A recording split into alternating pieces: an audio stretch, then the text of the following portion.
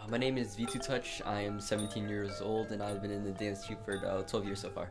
I'd say the best part of being fitted is really having the costume on after you've been fitted and everything. Like you'll look at yourself in the mirror and just look at yourself like, wow, I look so awesome right now. My least favorite part about being fitted, I guess, is probably the process of getting fitted. Sometimes like it takes like a, sometimes 30 minutes to an hour. Hi, my name is Peter Che. I'm 18 and I've been dancing with the Angkor Troupe for six years now. For me, performing, it's all that hard work that we do before we perform. All that working and all the effort that we put into just learning the choreography and to also put it out there on stage for other people to see and understand. It's just that hard work pay off after. That's why I feel like it's a great feeling. It's, it's exciting.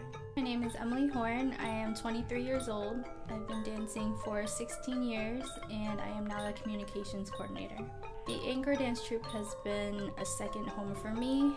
I feel like when I was growing up, I was very Americanized, and being able to come here as a child really taught me about my Cambodian culture and all the stories and the history about it. So I was really able to understand my parents and my grandparents that way.